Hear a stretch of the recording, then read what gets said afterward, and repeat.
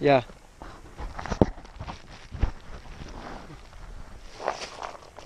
Video atong nagakwando. Pag ang GoPro, nakapis lang.